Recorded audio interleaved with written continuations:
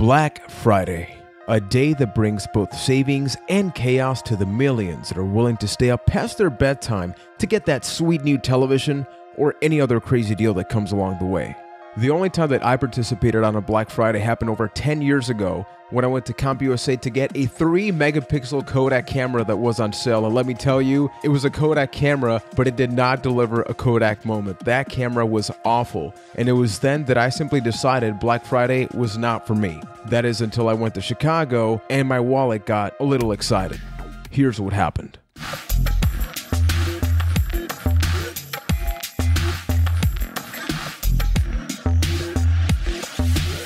Our trip to Chicago happened thanks to our family. It was a chance to escape the madness from everything that was happening in Puerto Rico so I could spend time with them. Plus, I could try to get my hands on a Super Nintendo Classic, but we'll get to that later. You're going to be seeing other videos about this trip on the channel, including a food video and a video of an awesome arcade in Illinois called the Galloping Ghost Arcade, so be on the lookout for those a little bit later. What's important is that this one is all about that Friday madness. And by the way, how many stores have said this month that it's Black Friday all month long? I mean, talk about a pet peeve. That's not how Friday works. Friday is one day a week, and this one just happens to be all sorts of crazy. Anyway, after having a nice Thanksgiving dinner, my journey with Black Friday began on that Thursday evening with a visit to GameStop. The goal was to get Dragon Ball Xenoverse 2 for the Nintendo Switch for $15, but they did not have it available, so we went to Best Buy and snagged a couple of games plus plenty of movies that we've been wanting to watch. We're here at Best Buy and we currently are in line. Well, Nicole's in line. I'm here doing this video. I mean, not only does that mean I get to, to skip a line, I also get to talk to you guys. I just wanted to check out what a Black Friday thing is like. You know, tomorrow we're going to be going to uh, Target and other stores, not for any Black Friday stuff. We just wanted to actually go to those stores while we were in Chicago. It just so happened that it happened during the worst time possible, so it's going to be jam-packed. But hopefully it's not going to be overwhelming, although, let's be honest, it, it totally will be. I'll say that Best Buy was very smart with how they designed the actual lines for Black Friday because initially we were just going to get the two games, but along the way, as you're waiting to actually pay, you saw a bunch of movies that were on sale. They were a steal of a deal, and we actually wanted to see them, but we had no intention of actually buying them during this trip. We can get a preview of just how crazy the lines are right now. Everybody's out buying a PS4. I'm here looking at what everybody looking at. I want a DVD copy of Bambi for $18, but wait a minute, I got to save $2? My god, Bambi, I haven't watched you in forever. Seriously though, who would spend $18 on that? Not that there's anything wrong with Bambi movies. That's not what I'm talking about. We've been meaning to watch John Wick for a while, and we got this one for just $4. We also got from the Divergent series Allegiant, we had the previous ones. We also got Spider Man Homecoming and Guardians of the Galaxy Volume 2. All of these were just $8 a piece. Plus, we got Wonder Woman on Blu-ray for 10 bucks and not just that, but this also has the 4K Blu-ray. Now, we actually have a 4K TV, but not a 4K Blu-ray player. So, even though we can't get the full benefits if we eventually get that, we can check out this movie and even more glorious high definition. Also, this would not be my last visit to Best Buy. At night, we went to Salvation Army, which I love to visit because you can find the most obscure stuff at a steal of a price. Sometimes. Gotta look at this. Cheers on VHS. Each one has three episodes. And I don't know how much this goes for, but it's gotta be pretty rare because look at how, how high quality it is. It looks like an entire collection of books, but turns out it's actually the VHS collection. All of them have the same cover, but I love the series. I don't know how good or bad this is. It is only 95 cents. Men in Black, the series Crashdown. Oh my god. Is that supposed to be Will Smith? This is a one player game, and the disc is basically new. So I was checking that out. Medal of Honor Rising Sun actually played this online a lot. It's a very underrated shooter. This is basically brand new as well. A lot of these are just like racing games. You know, you have some Wii games. These are the games that I guess they end up here because they they're you know they're being given to grandchildren as gifts. They get really pissed off once they find out what they actually get so they end up here at Salvation Army. But hey, I get to reap the benefits as a result. See, this is the kind of crazy stuff that you look for. I'm, I've been recently playing Amplitude on the PS2, and I never played this N2O Nitrous Oxide. This is for the PS1. It's music fueled by the Crystal Method. Crystal Method, very important. It's broken. Is the disc in good quality? It's it's seen better days, especially this is a little questionable. Maybe it works, but San Andreas for the PS2, only three dollars.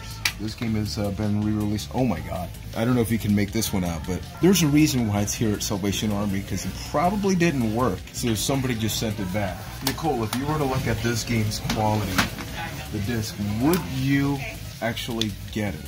Like for 95 cents, I think you can get it and see if it works or not. The four games I got were less than $7 total. Now, are some of them crap? Of course they are. But that's why I got them and that's why I love them. Plus, who knows who owned them beforehand? Afterwards, we went to sleep and on Friday we visited Five Below, which I had never gone to. They had Guitar Hero Live for just $5, which is crazy. I already had it for PS4 though, but Nicole and I got Monopoly Here & Now Edition for just 5 bucks plus a couple of gaming tees that were also just $5. And I was really surprised to see high quality stuff at that price. They had WWE action figures and even a little entertainment for the bathroom. And they also had this giant Ferrero Rocher chocolate. Just imagine biting into that thing. You see that chocolate melt and then you get that hazelnut center. But I didn't get it.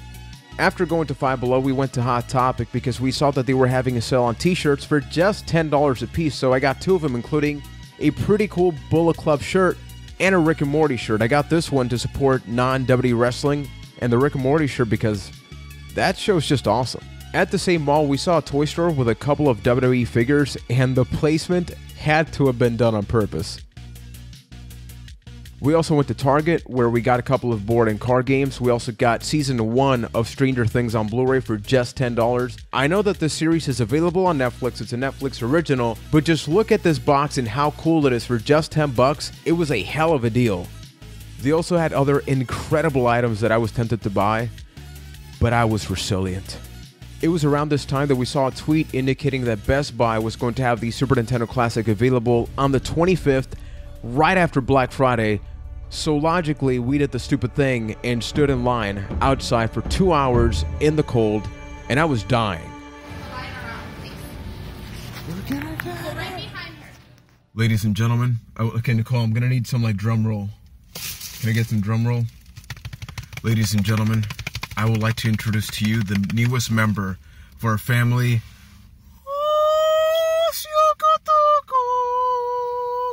We got it! We got it! Super Nintendo 64! Yes! Yes! Afterwards, we celebrated with a nice cup of coffee, but we were not done buying video games because we went to Play and Trade and they were having a sale on PS2 and original Xbox games priced at $10 or under. Get this 15 games for $10. I had to ask twice because I couldn't believe it. Needless to say, I spent the next hour or so trying to get the best mix of games.